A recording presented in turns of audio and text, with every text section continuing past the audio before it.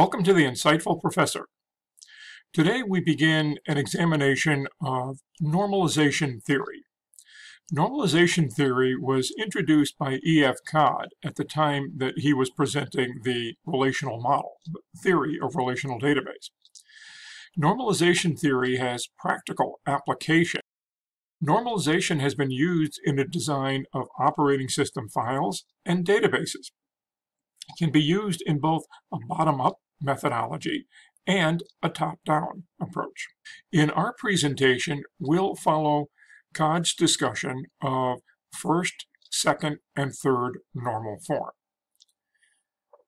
The objectives of this presentation include introducing normalization theory, explaining the principles of functional dependency, discussing why normalization is important in an effort to achieve a stable database design, presenting a description of the various normal forms. As we said, we'll be covering first, second, and third normal form in this video, and also the normalization process, how we move from one normal form to a higher normal form. We will discuss some of the anomalies that may motivate bringing a database from a lower normal form to a higher normal form. And we'll demonstrate how normalization is used as a process to decompose a table or a relation which has anomalies into a table or set of tables or set of relations that eliminate these anomalies. When transforming an ER model into a set of relations or tables, typically what we have is a set of well-structured relations. However, there's no guarantee that all anomalies will have been removed during that transformation process. So normalization is a formal process for deciding which attributes should be grouped together in a table or relation so that all anomalies have been removed. This is what we mean by a well-structured relation. They would be devoid of anomalies. Normalization theory, as we had mentioned in our introduction, evolved from Codd's research in relational database. Effectively, what it does is it serves to provide a definition of what constitutes a good database design. So this theory is a formalization of what might be kind of the intuition of some database designer that just says this this seemed right, but perhaps can't ex explain the reason that it seems right or why another table structure might seem incorrect. So it's a formal process. Normalization is applicable to any database management system, not just relational systems. Furthermore, it has been used historically in designing operating system files, something that is not a database. So normalization as a process involves raising a table from a lower normal form to a higher normal form. It's a process of decomposition. We go from the extreme case of being unnormalized to first normal form, second normal form, and finally to third normal form. With each step, we reduce the possibility of errors or anomalies occurring during a database update process. The goal is to reduce the relations with anomalies to smaller, well-structured relations. So normalization is actually a semantic notion. It requires an understanding of the meaning of the data items. Note that while Entity relationship models initially focus on entities. The normalization process focuses on attributes. So normalization is often used in a bottom-up approach to design a database. However, it has application in a top-down approach, which is what we follow in developing an entity relationship model. Its application in that context is to do validation in terms of the composition of the resulting tables. So a normal form is said to be a state of a relation or table that requires that certain rules regarding relationships between the data items or attributes are satisfied. A relation that is in a higher normal form is closer to achieving the status of being well structured. With each transformation from a lower normal form to a higher normal form, we eliminate or at least reduce the likelihood of an anomaly occurring through some kind of data manipulation operation. So the main goals of normalization include minimizing data redundancy, which by itself can reduce the likelihood of anomalies occurring, but also can contribute to a reduction in the amount of storage that would be used. Another goal is to simplify the enforcement of referential integrity constraints. Furthermore, normalization can make it easier to maintain data, insert, update, or delete, because it's through these operations that anomalies can occur. So if we reduce the likelihood of anomalies or eliminate the possibility of anomalies through these DML operations, then the maintain, uh, maintenance of the data will be more achievable. And finally, normalization can provide a better, in the sense of being more stable, type of design that is an improved representation of the real world. After all, when we create files or database tables, what we're really doing is coming up with a representation of objects within the application domain. From time to time, it may be necessary for these objects to adapt to changes in business requirements. And that's what we're talking about when we refer to stability. So normalization makes no assumptions about the way the data will be used. It's not concerned with how data will be accessed or queried, nor is it a concern for how it will be rendered in displays or reports. In fact, normalization places no constraints on how data can or should be stored. It's strictly a semantic notion. Now, a normalized design has potential trade-offs. The primary benefit would be that we achieve a stable design. We reduce the likelihood or possibility of update anomalies. But there's a cost associated with it. Remember, we had said that normalization entails concept of decomposition. You're taking one table or relation and creating multiple tables or relations from that. So you're storing the same data that you might have stored in one table in now multiple tables. And therefore, when someone needs all of that data, it will be necessary to bring the two tables' contents back together through some kind of an operation such as a join. But a spin-off advantage also appears. The, it requires an understanding of the data semantics, which forces the designer to effectively communicate with the business users or domain experts. So the notion of a stable design is effectively analogous to the notion of well-structuredness. Central to the notion of first, second, and third normal form is the concept of functional dependence. The way we can define this is we say that given some relation R, the attribute Y of R is said to be functionally dependent on another attribute, attribute X, of the same relation R, if and only if each value of X has associated with it precisely one value of y at any point in time.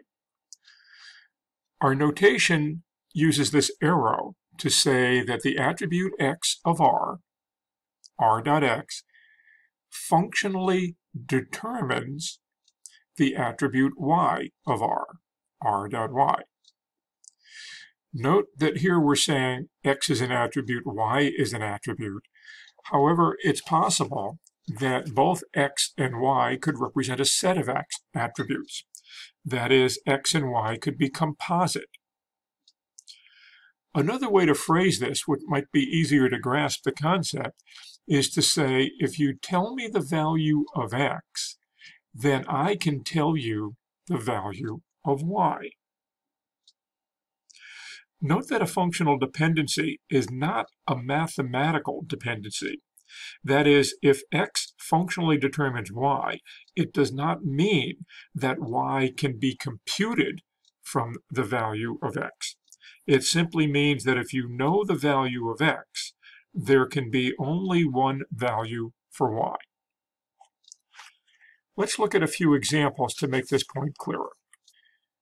If you tell me the value of student number, I can tell you the name of the student. If you tell me the value of student number, I can tell you the age of the student. The idea here is that student number functionally determines student name. Student number functionally determines student age. In the case of course number and course name, consider that I'm currently teaching a course with the course number CSC 341.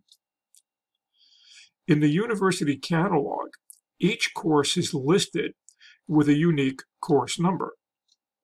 If you ask for the name, the CNAME value, for the course, it has the name of Database and Information Management. Thus, given the course number CSC 341, we can determine precisely the name of the course. We have an, additional couple of examples at the bottom of this slide that show the notion of multiple attributes. That is, if you tell me the combination of name and address, if you tell me the values of these two things, then I can determine the age. If you tell me the course number and section number, I can tell you the room that, say, a class might be scheduled. So again, X and Y could be sets of values. If all of this sounds very familiar, it comes back to the idea of candidate keys, something we have discussed in the notion of database design. So if a field uniquely identifies every other field in a given table, it is a candidate key. But another way of expressing this notion using what we've just talked about in terms of functional dependence, we could say that if every field in a table is functionally dependent on some field, say K, then K is a candidate key. An example from an insurance application would say, suppose we had a table that consisted of a column called policy number, policy type, name, and address. Assuming that there's a functional dependency where policy number functionally determines policy type, policy number functionally determines name, policy number functionally determines address, then we have a situation where policy number is this field K that we just suggested that functionally determines all of the other columns. Therefore, we can conclude that policy number is a candidate key. It could serve to identify uniquely a row within the policy table. So a candidate key is an attribute or combination of attributes that uniquely identifies a row in a table or relation. Given its value, we can determine the values of all the other attributes. Now, a candidate key has to satisfy two properties. First, a candidate key must provide unique identification.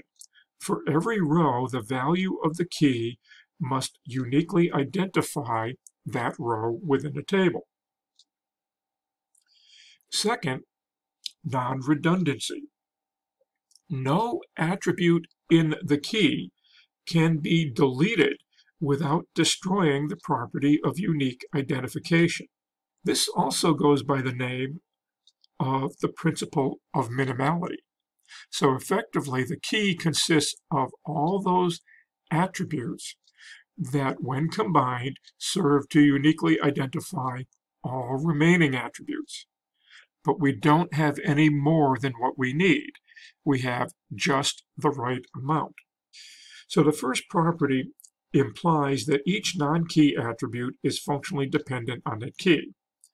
Additionally, because a candidate key serves as a method of identification, it follows that the candidate key cannot be null.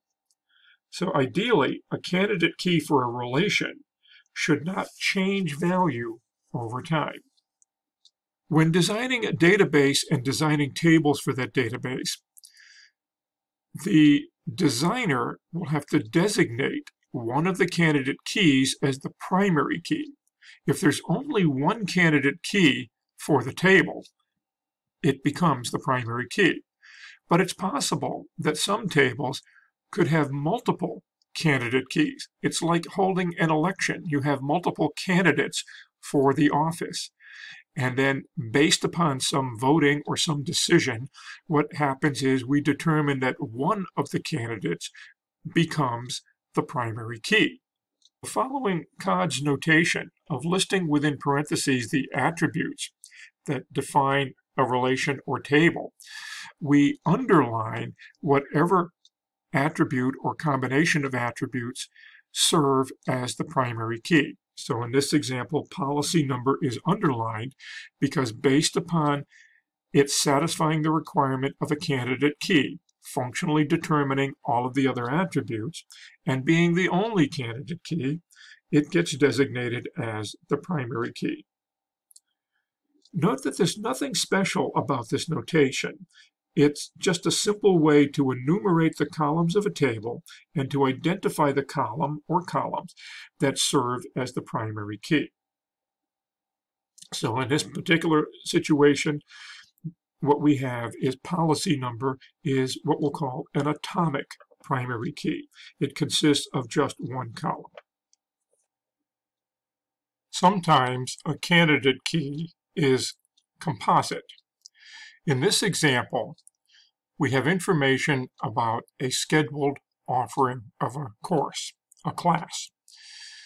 To uniquely identify who's teaching the class, we need a combination of the course number and the section number.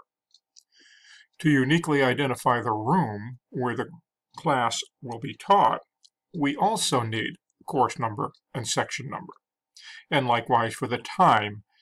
So we have multiple attributes that serve as the candidate key and subsequently in this case as the primary key. So the reason for the composite key is due to the fact that there could be more than one class scheduled for a course in any given semester. Course number by itself will be insufficient to uniquely identify one row that describes a class. It is sometimes the case that a table can have more than one candidate key.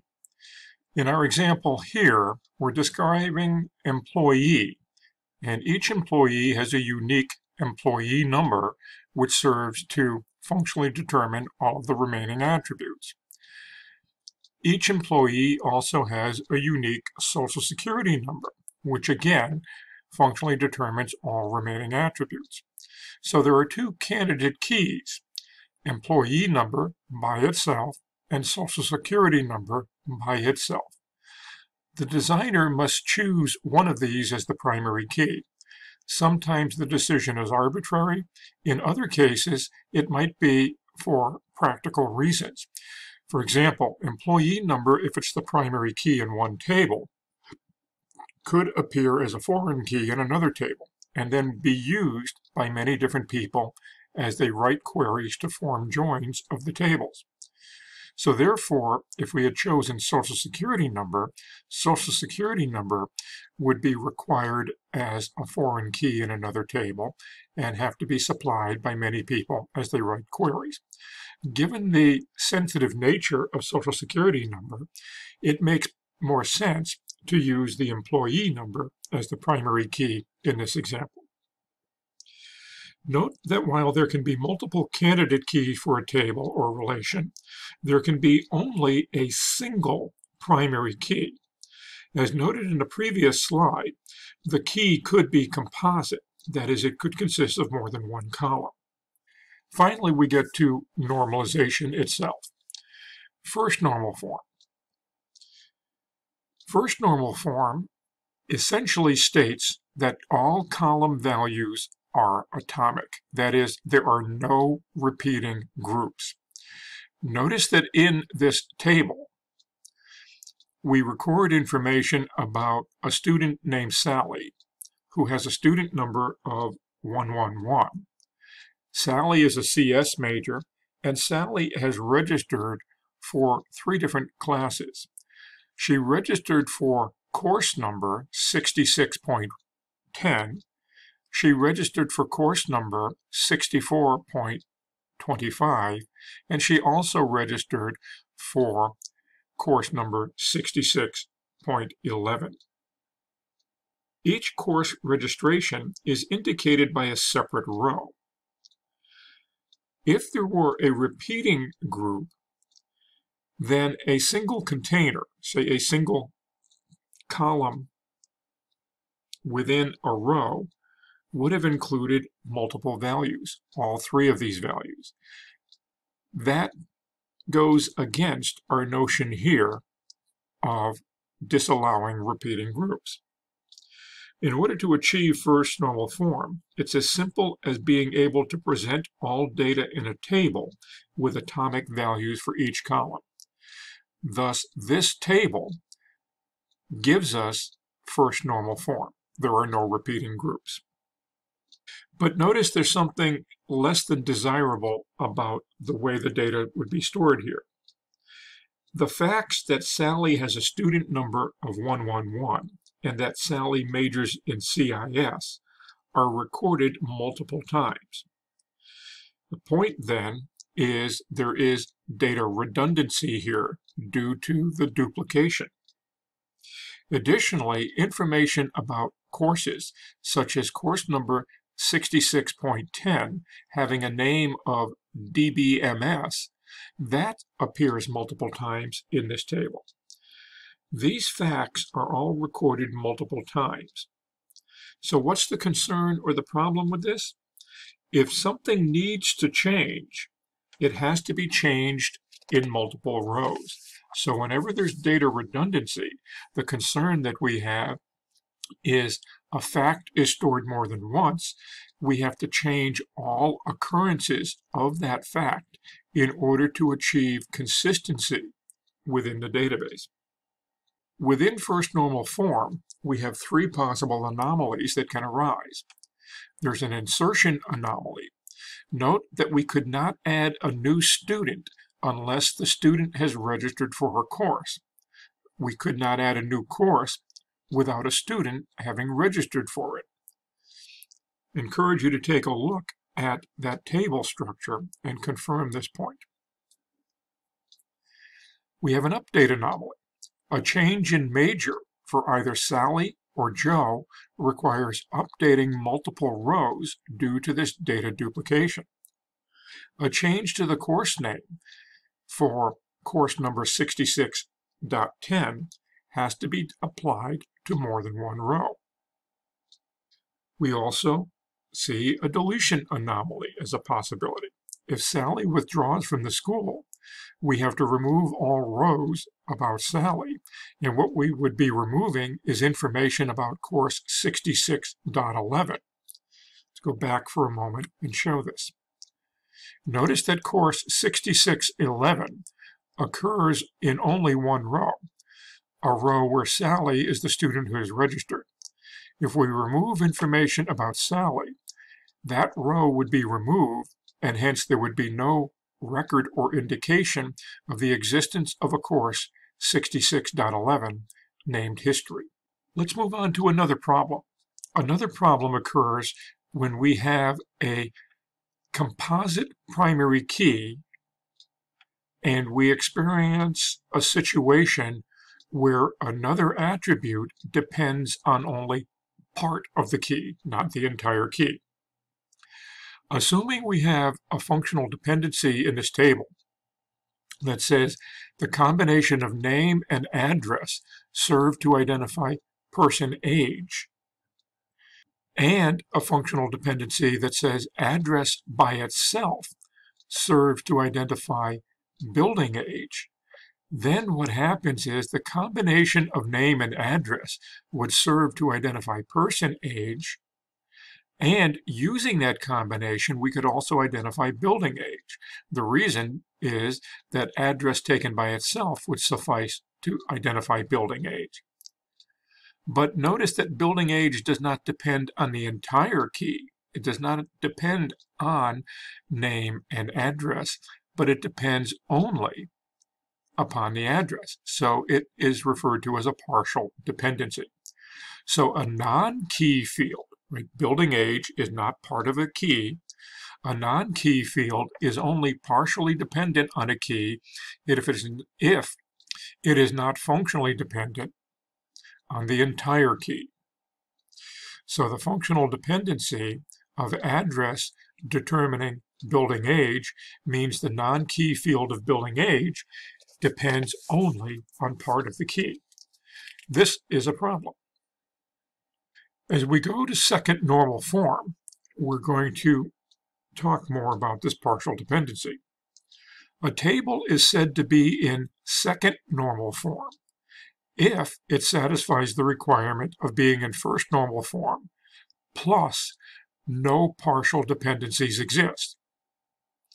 So notice with Codd's definition here, we don't just come up with a definition that says this is second normal form, but it's necessary to first have a definition of first normal form because second normal form is defined based on first normal form.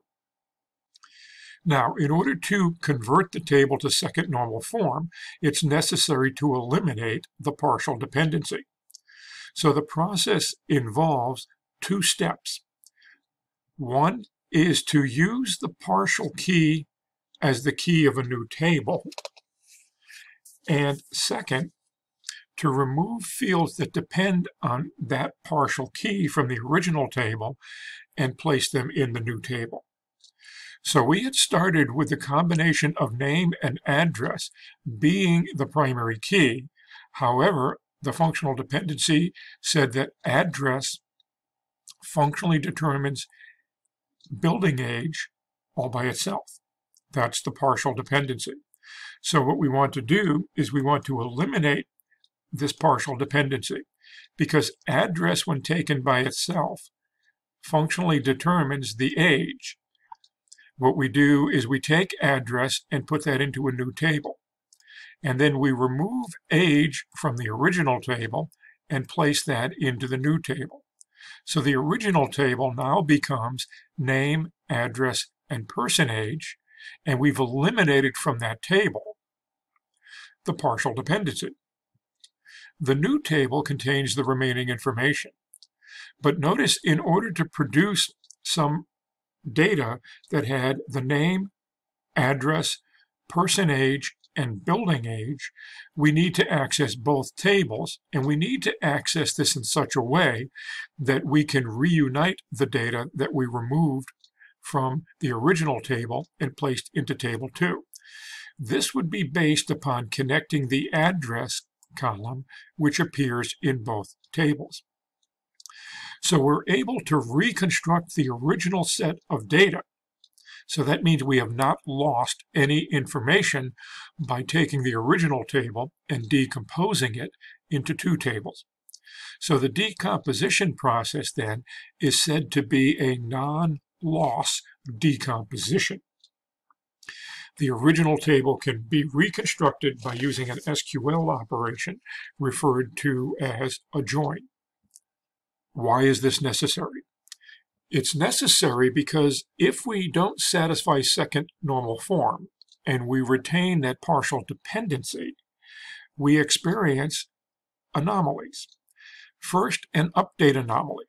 If four people live at the same address, the same building age would be recorded four times. Right? Because building age is recorded for each combination of name and address. But it would be the same building age for all four residents of the building. So we have data duplication. The consequence is if we need to update that age, we have to update it multiple times. And if we fail to update it every time it's stored, we have possible integrity problems, inconsistency of our data. An insertion anomaly is also a possibility. Every entry in a table must have a primary key. So therefore, if the primary key required a combination of name and address, we would have problems inserting information about new buildings. The address and building age of a building could not be recorded in the database unless there was a person living in the building. Finally, a deletion anomaly. If every person living at a given address leaves that address, then all rows for those people would be removed, but we would also be removing information about that address, including its building age. So therefore, there would be no information about that address recorded in the table. These problems all go away once we put the tables into second normal form. And when we eliminate the partial dependency, I'll leave it to you to confirm that we no longer have those three anomalies. Another possible problem that can occur is what's called a transitive dependency. Assume that a table with two or more non-key fields exists. And here we're calling it table T, and we have employee number, employee name, department, and location. Employee number functionally determines all of the remaining attributes. Therefore, it's a candidate key and subsequently could become the primary key of this table. Also assume that there's another functional dependency.